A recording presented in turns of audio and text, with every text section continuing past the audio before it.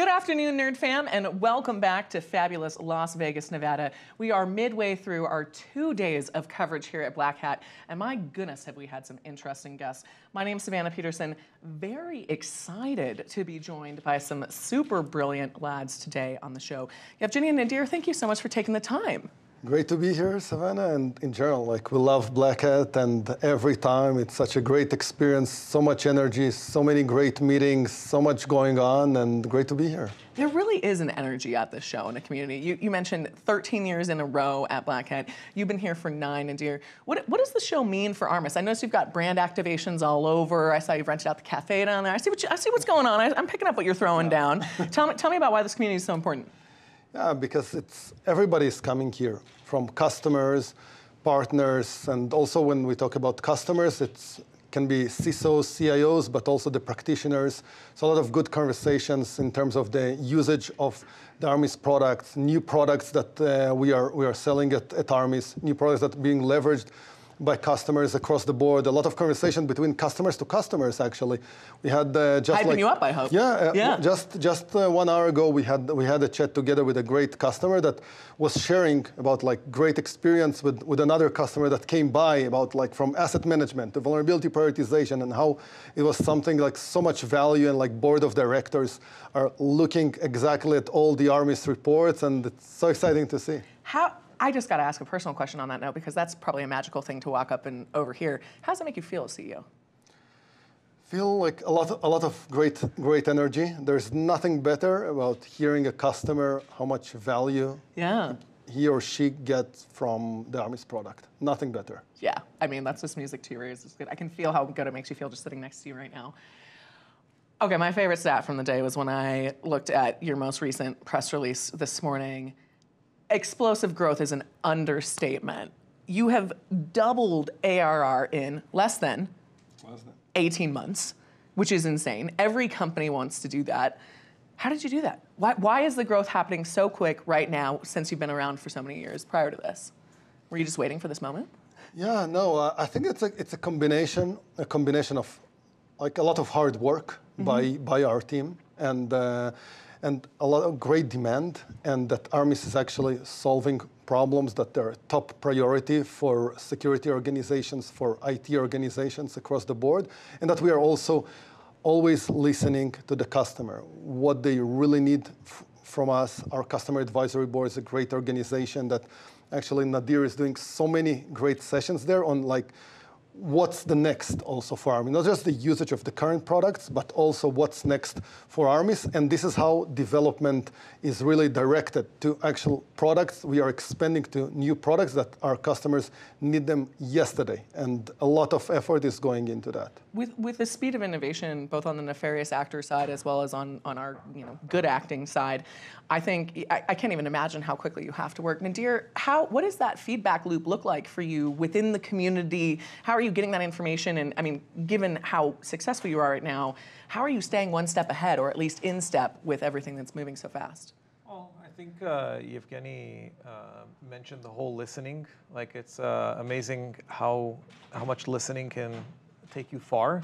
Uh, but I think also louder for the folks in the back, just in general in the world. I feel like listening. Yes, yes. listening uh, really, really helps. Uh, but also, I think that uh, we uh, we managed to build uh, a foundational critical element that we can expand on quite a bit. And I think through the guidance of all of these customers and partners, um, we've been able to tackle areas that before were considered areas that are just extremely difficult, if not impossible, to tackle. Um, Give me some examples. Uh, you know, how many CISOs out there feel that they have a good handle, a kind of a good asset inventory of everything? Check, we can do that. How many of them feel like uh, they can actually do effective vulnerability management uh, and actually tackle all of the critical exposure that they have, all the different yeah. findings? These are all difficult problems to tackle, but that we're able to do very effectively, and it shows in our growth. It shows in the success of the company it shows in the trust uh, that all of these organizations are willing to put in us, which is uh, a truly humbling experience, but also something that we're very proud of um, in building this company. Love hearing that. And they're obviously proud of it as your customers if they're bragging about their experience to other customers. I mean, my goodness, talk about the best word of mouth marketing ever. Let's talk about how AI has factored into this whole landscape for y'all. I can imagine it's been an interesting adjustment, and you also have an, an offering, Armis Centrix. Tell me about that. Well, I think uh, AI, we all understand that it's kind of revolutionizing everything that we're doing. It's uh, revolutionizing both the uh, attackers, or let's say the bad guys, uh, but it's also revolutionizing uh, the, the solutions and the things that uh, the good guys or the defenders can provide. Uh, for us, it's been uh, huge. I think that the entire platform has always had uh, a heavy dose of uh, well, machine learning and AI, but I think ever Right. since the last couple of years, and uh, how much uh, generative AI uh, and generally all the uh, usage and all the adoption of that has uh, really pushed forward the entire platform. Anything from uh, being able that. to yeah, anything from being able to um, query and understand and uh, uh, understand the data coming back from Armis in a much better way, but also uh, automation, uh, remediation, lots of different things that come from this um, is completely changing the landscape of both our products as well as what our customers are doing. Hadn't put two and two together here, which sounds silly. I'll call it a blonde moment. But the, your growth, your recent explosive growth, obviously Gen AI, those timelines are very kind of in parallel. Do you think that that has accelerated the adoption or at least the awareness of the needs for your solution in the market? I think it has, uh, very much so. But I also think that uh, in part it coincides also with the explosive growth of cyber attacks as well. Uh, Gen AI is uh, increasingly being used by attackers, and so jumpstarting the entire industry. But also um, on our end, I think that uh, the usage of Gen AI and uh, how much it can help teams be that much more efficient, that much more effective, and scalable is huge. How much of your, I, I think that's so important, how much of your role is educating your customers on even the types of risks that might be emerging in the new landscape? I think in the beginning it was it was much more, but the more the more years pass, and uh, what we see across our five products right now, that all these areas from the asset management, what Gartner would call CAASM, OT security, medical device security, vulnerability prioritization, remediation, active threat intelligence. This is those areas when our teams are arriving to speak to customers, those are all top priority. This is something that there is a project on, on the way or at some point, this is, or something is ongoing, always. This is, imagine that like those are the most critical environments. Imagine distribution centers, imagine airports, ports, utilities, like the grid. Critical in- infrastructure is what you're talking about. Yeah. Those are, those are areas that are the most important to the board of directors. It's not just another document that somebody lost. It's about operations. Right. It's about operations. If one distribution center goes down, it's hundreds of millions that the organization would lose. If a grid goes down, if an airport goes down, imagine what, what's I happening. I mean, just ask Delta. Yeah, that's, uh, this, these are the areas that are the, the most critical, the most critical assets that are there in, in, in those environments. And these are the problems that we are solving. Let's talk about hospitals. Hospitals, the area if, if medical devices go down or are not protected. Same, when we talk about asset management, how can you do any effective security program if you don't know what you have? Across everything, every single asset, whether virtual, physical, cloud, code, OT, IoT, anything. If you don't have it, you cannot run an effective security program. So the way we are also expanding by product, as I said before, is also about customer demand. Customer demand and what are like top priorities for organizations to make their security program much more efficient, more value, more value to the, to the board of directors, et cetera. Well, and ensuring that the end user customer, who might not even know about all the hard work you do, doesn't have a, a gap in their positive customer experience. I mean, when these things happen, all eyes are on that company, and and it's a huge deal. I'm curious in terms of your approach, how much is defensive versus offensive security? How are you toggling that? Because I feel like as things increase in speed, and then there's also, but you want to be in front of it. How do you toggle that in terms of a product development and feature creep? Well, I think for us, obviously, we focus entirely on the defensive side, but it is about uh, being a few steps ahead uh, from Yeah. any attackers or any offense. I think the good news is, and kind of going back to your comment about AI, is that uh, AI on the defensive side always has uh, one huge advantage over attackers, which is a home court advantage and uh, the data advantage of knowing exactly how your environment looks like if you're able to capitalize on it. So we try to make that advantage count as much as possible. Uh, help the teams that day in, day out need to handle all of these different uh, security incidents, uh, do their work much faster, have a SOC team, for instance, know exactly and immediately what is uh, the asset they're looking at, who owns it, who's using it, whose throat to choke, uh, if you will, on the problem yeah, at yeah. hand. Uh, but do all of that in an effective manner to support their role. Uh, they have hard jobs, and uh, being able to support them in that fashion, being able to give them a 360 view of everything they need, that's what we're in business for. I love that. Well, and there's so many different legacy systems. There's silos. There's all these little pockets of knowledge and data throughout organizations that I'm sure you're tying together into that that layer of observability.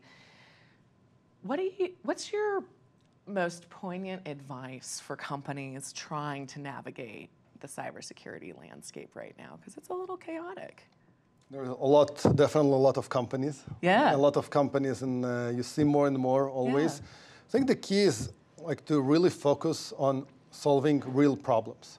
Real problems that are top priority for an organization, and always do that validation again and again and again with different types of companies, different size, sizes of companies, different verticals. Always go again and validate and validate and validate all the time, and al- always question yourself. Make make sure that you're solving that like real, real problems for, for the customer. That's something like is, is top priority. This is something that if you don't do that, sometimes like you, you fall in love in, in, in, in, in, in the product, but and not listening enough to the customer. This is something that at every stage, whether it's like 500k in revenue, 10 million, 50 million, 100 200 million. yeah, exactly. you must always keep thinking like that, keep listening to, to the customer, and continue to make sure that you're solving something that is top priority.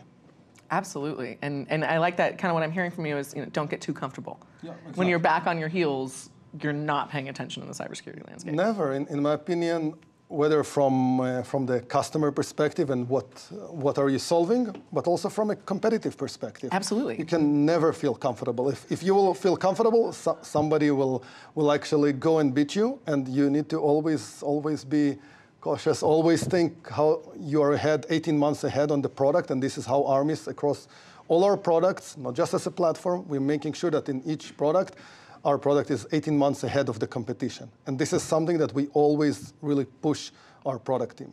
Oh, and that's why you're doubling ARR every 18 months, just like that. What's next then on the product development cycle? Yeah, I love it. That, that was, that was no pressure, no pressure. Nadir, what's next on the product development cycle? Well, I think that uh, uh, Armis is poised to really uh, fill in and take over this entire uh, very amorphous space of exposure management. Uh, I think it's. Uh, uh, I think that the world, in many ways, has, uh, uh, for the last decade or so, fallen in love with this concept of detection and response. Uh, if you just put more detections in, you'll be able to catch, uh, you know, cyber threat actors uh, while they're in your system. And I think that things have changed and things are flipping around quite a bit into the stance of it's not enough to just be reactive. You also have to proactively manage risk. And this is where Armis comes in. Armis is end to end, uh, a system that allows you to both understand your environment, but also manage uh, and reduce risk within it proactively. And uh, not only is that a more cost effective method, it's frankly a more effective method. Uh, if you don't have an exposure in the first place, there's nothing to breach and no one is going to be there in the first place. So I think Right, that- and that's what everybody wants. Exactly. Yeah. And our roadmap is absolutely around that, around all the different product pillars that uh, Yevgeny mentioned before, and then some, and being able to give teams a holistic view of their entire uh, risk and exposure space and how to manage that.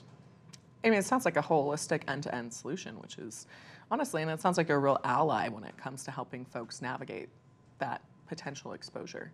Is there anything, Yevgeny, I'm going to ask you that you wish your customer, potential customers knew about you that they don't know today? I think that uh, more about uh, more and more about the platform that we are building. That it's not just one A single solution. solution, yeah. Yeah. Some, some, sometimes more, and uh, sometimes somebody knows you as uh, okay, the IoT security, the OT security, Right. the asset management, Yeah, and, some- yeah. and sometimes there are cases I would say that again the, the only places that we are where we are losing is like where we are not invited to the dance, and and and this is this is the area that you know, I can say personally the most frustrating because we have an amazing solution in each of the uh, product suites, but sometimes like oh they're uh, IoT security and their asset management, like, okay, on the vulnerability prioritization, they just didn't think to, to invite us, and sometimes you come uh, later. So, like, really about our, our cyber exposure management platform and the five super competitive and AI-driven products that uh, so everybody is aware of those capabilities and uh, you know, we will work hard to, to show every customer that we have the best product that will bring the best value. I love that. Well, first of all, I hope they're watching, so they saw that now. And you're invited to any dance party that I'm at, and, and hopefully all of the future dance parties of your customers. I have one final question, and I would love for you both to answer it. Nadir, I'm going to start with you. What you're, you know, you're both black hat veterans, and obviously been working on Armis for a while. What do you hope to be able to say next year that you can't yet say at this year's show? Well, First of all, that we doubled again, and you know. I mean, obviously, in 12 months this time instead of 14 or 18. We keep challenging. Love that. Um, I would say that uh, um, you guys kind of touched on this in the beginning, that uh, there's a very special vibe uh, to Black Hat. I don't know if it's the um, desert theme or just the fact that uh, uh, people are much more chill and casual, and it's very fun to talk to a customer not just through a Zoom, but uh, over a beer or over kind of a. Amen, brother. Ex- exactly, exactly. I think that um, every year we come here, we see our team. We see uh, the dozens of different people who you know make this a success, and the hundreds behind them, kind of around the world. Yeah. We see all the different uh, customers and partners here. Uh, we see uh, all the people sort of assemble either at the Hazel Lounge uh, where we're at or anywhere else. I know. I saw it going in the elevator. I was like, exactly. oh, I need to stop by there later today. I think just seeing that much more of that, that exponential growth of that, uh, is is truly the most rewarding piece of this entire experience. Hmm, that was so sincere and authentic. I actually believe you.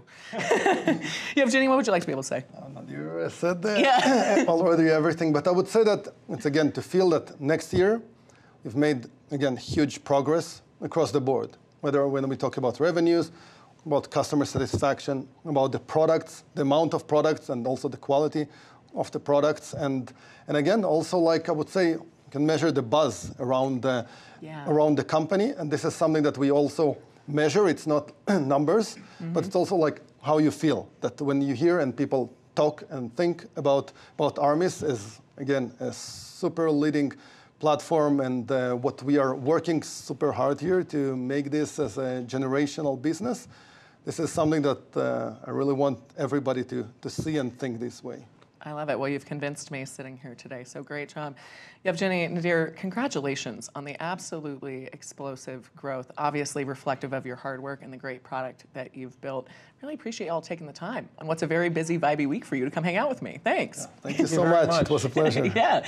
And thank all of you for tuning in to our live coverage here at Black Hat in fabulous Las Vegas, Nevada. My name is Savannah Peterson. You're watching theCUBE, the leading source for cybersecurity coverage.